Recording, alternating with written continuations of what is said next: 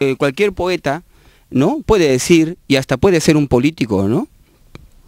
Eh, me parecía bien, ¿no? No hay ninguna contradicción en eso. La poesía no se contradice con, no se contradice con nada o se contradice con todo. Es la libertad absoluta, ¿no? He depositado el bien y el mal sobre la faz de la tierra para conflictuarte, para guijonearte, para motivarte a buscarme. Debes entender que tu voz llamándome es mi propia voz, es mi propio exclamo, es mi propia voz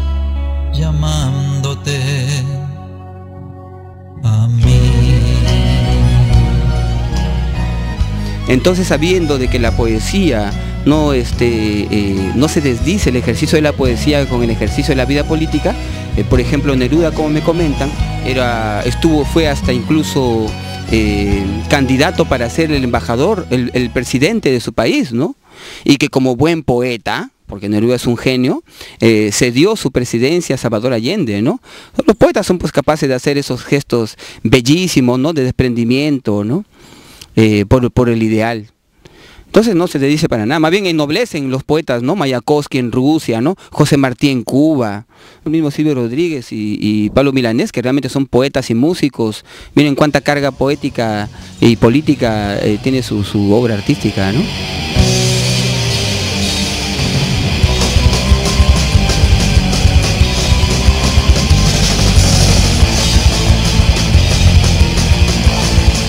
No ha ganado nadie ahí. Ha sido una, una pelea entre, en, en, donde no gana nadie, ¿no? ¿Qué ganan los apristas? Que yo soy semiaprista porque mi abuelito estuvo con Víctor Raúl y derramó sangre por el APRA. Si hay algo de aprista verdadero, genuino, idealista, todavía queda en los, en los, en los nietos de los que fueron los apristas que siguieron a Víctor Raúl en su etapa este, germinal, ¿no? En su etapa pionera, en su etapa hermosa.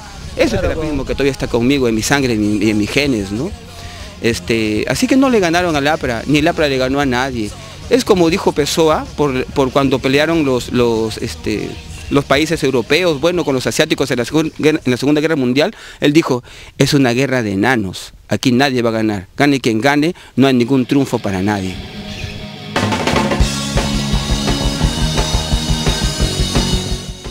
Hay que, ser sinceros, ¿no? Lo que le pase al APRA le va a pasar eh, no es del APRA exactamente, ¿no? Le corresponde a todo el país. Mi pueblo mismo, Casagrande, es el lugar ideal, ¿no?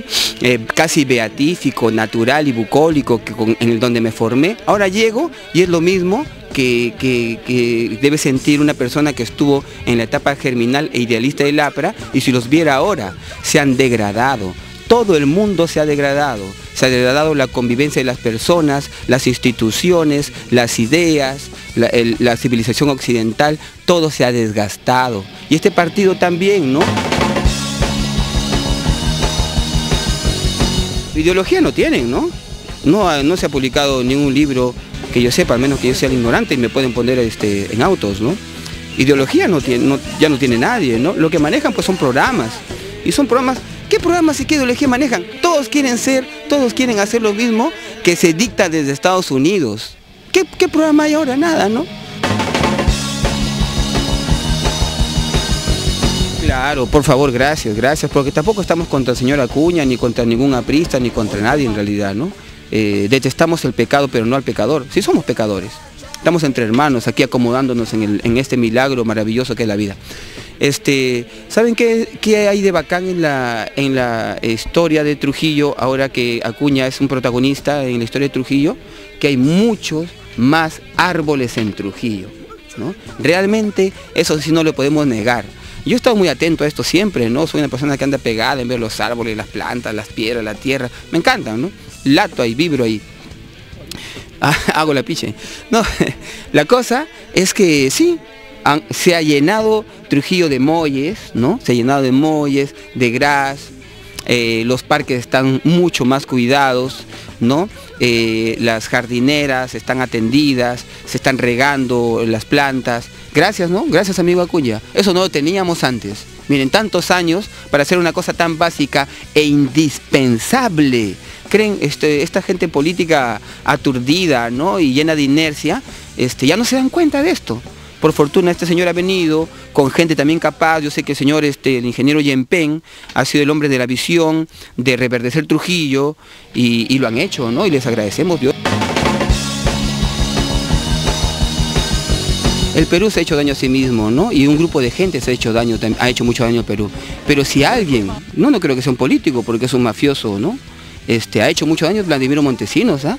No nos damos cuenta de lo que ha hecho ese pata. Ha traído unas vibraciones negativas y bajísimas y les ha irradiado con total efectividad en esta sopa orgánica de gente ignorante que es nuestro país y ha prendido la mecha, uff, ahora estamos llenos de, basura psicológica, regada ahí en todo el Perú y todo el mundo comiendo ahí eh, y deleitándose, ¿no? En Magali, en estos periódicos excrescencias psicológicas, ¿no? Entonces, este, y ese hombre, miren, ha hecho sistemáticamente este trabajo.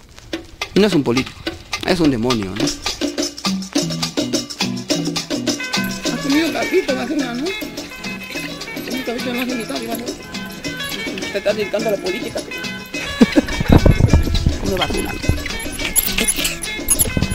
Ya, a ver. Se llama Achuni Uni Lucumí. ¿Cómo se llama? Achuni Uni Lucumí. ¿Es familia de César Acuña? no, no. ¿Por qué votaste en las elecciones pasadas? La primera vez voté por Adriana Doy, para acá.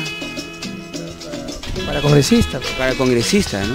Ah, pero para la presidencia el año pasado estuvo entre Humala y Alan García, ¿no? Antes, porque la, entre Humala y García me voté, obviamente, ¿no? Por, por ejemplo, había Susana Villarán, este, Luz de Flores. Ah, ya, ya. Voté por el viejito Paniagua. Voté por Paniagua. Esto es peligroso hacer para mí. A mí, si yo digo las cosas que realmente se me ocurren y como yo he convivido con estas personas en esta ciudad, yo podría perder la vida, ¿no? Porque, este, miren amigos, en la, ya lo dijo Confucio, ¿no? Cuando... Yo te enseño a enamorar, tú me enseñas a ser